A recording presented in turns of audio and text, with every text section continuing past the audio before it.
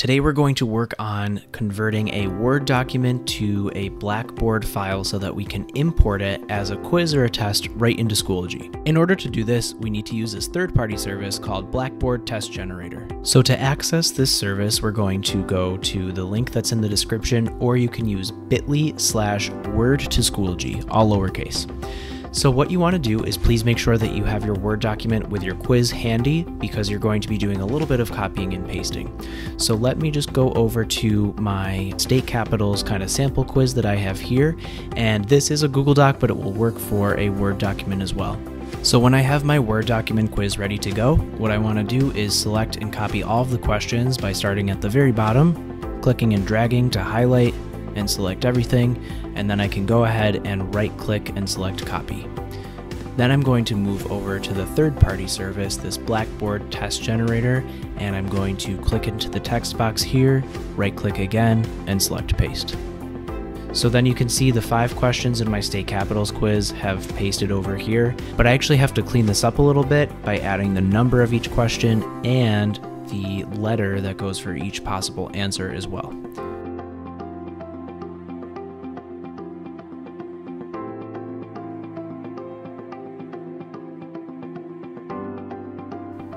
So that's a great start. This is definitely looking good. And what I want to do now is go through each question and mark the correct answer by putting an asterisk directly to the left of the letter that corresponds to the correct answer. I know that my answer key goes in the order of A, B, C, D.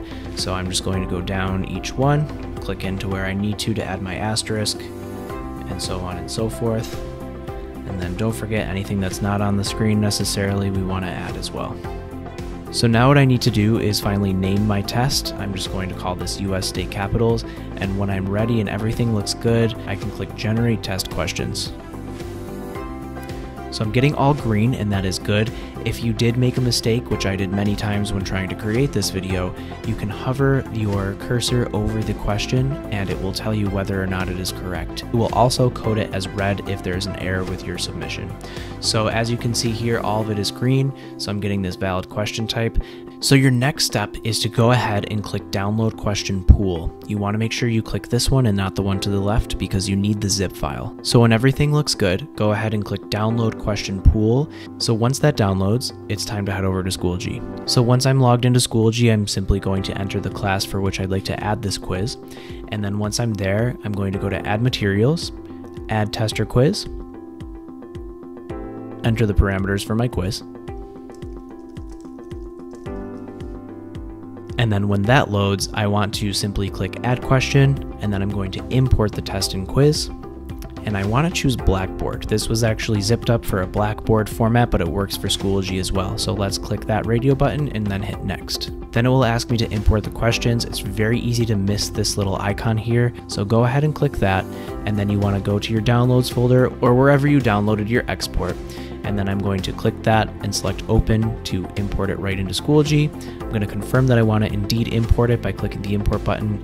And as you can see here, my test questions have been uploaded with their corresponding answers. If you do want to go ahead and verify that the answers worked as well, you can click the gear and then select edit. And you should see your multiple choice responses here with the correct answer already checked because you programmed Schoology to do that by putting the asterisk in on the other service. If you want to add any more kind of finishing touches like randomize your choice or anything like that, maybe changing the point value of each question, you can do that as well.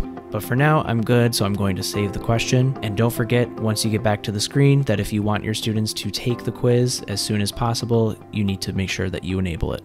So that is how to import a Word document quiz into Schoology. Thank you so much for watching. If you have any questions, please don't hesitate to let me know, and I'd be happy to help.